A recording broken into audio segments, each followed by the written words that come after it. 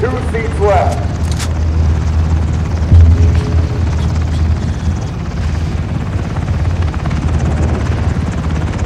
Can't wait any longer. All personnel on board, prepare for takeoff. I repeat, prepare for takeoff.